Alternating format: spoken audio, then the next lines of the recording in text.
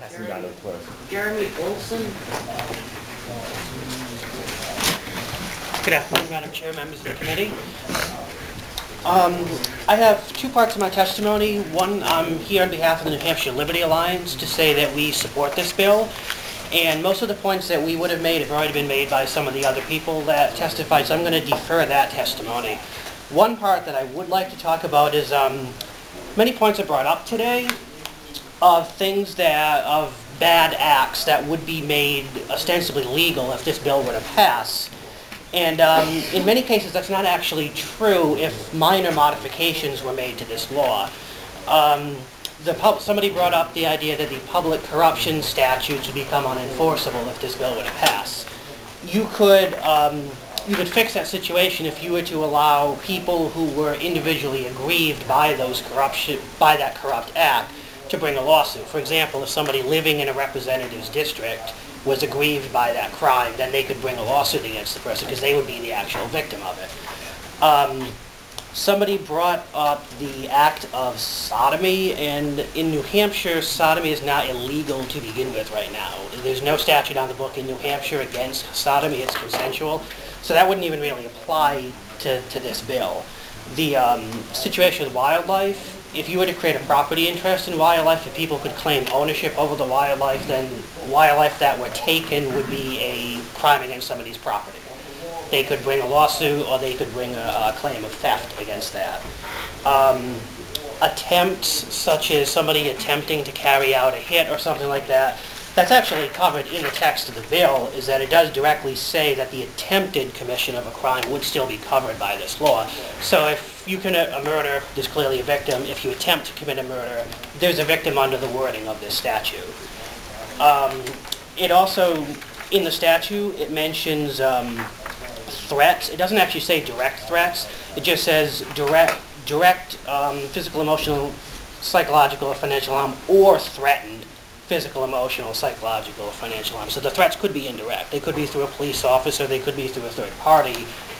If somebody were to threaten to kill me through a third party, I could have a claim of emotional harm against that, even though the act never took place. Um, Somebody mentioned prostitution, how prostitution creates victims and that it spreads diseases. So does other consensual sexual activity that does not involve the transfer of money. Just people being promiscuous can spread disease, but that's not illegal currently. So that's not really a problem that would be inherent in legalizing prostitution through passing this bill. The idea of people being kept as sex slaves, prostitution, again, that's not so much a problem with prostitution as the fact that it's prostitution is illegal, so it creates that type of crime to begin with. If it were legal, that could be handled separately. Currently, it's legal for somebody to open a business to manufacture products, but if they were to try to open a sweatshop and force people to manufacture products, that's illegal currently. That would be the victim. It wouldn't be the actual prostitution, but the act of keeping somebody as a slave. That would be the, the victim-created crime. Um, Trespassing is also a similar issue, is that's a crime against somebody's property that could be considered financial harm or emotional harm or physical harm, depending on what they do when they trespass. So that, again, there would be a victim if that activity were to be conducted. So um, if this bill were to go to a subcommittee for amendment or anything, I'd be more than happy to work with the committee on that, and I'd be more than happy to take any questions you might have. Thank you, Madam Chair. Don't you believe there's a section of prostitution that causes the prostitute to become a victim who is threatened physically, emotionally, psychologically, and financially? If somebody's threatened or forced into prostitution, that is definitely a victimful crime and should be prosecuted as a crime. They've been harmed. The, the situation is there are people who consensually engage in prostitution. Not everybody is a sex slave. Not everybody is being forced by a pimp into engaging in prostitution. Craig? I have Two questions. Number one, when we talked about this issue with a hitman, Mhm. If I were to hire you to do something, wouldn't you be a victim of my thoughts simply if you got caught? Didn't matter whether you carried it out, but you were part of that conspiracy, so you'd be a victim. Are you asking that I would have a cause against you under this No, law?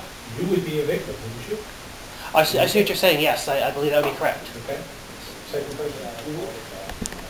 When you talk about wildlife law, currently, in statute, all wildlife in the state of New Hampshire is put into public property, public trust, to be enforced by wildlife laws. So that's already in statute.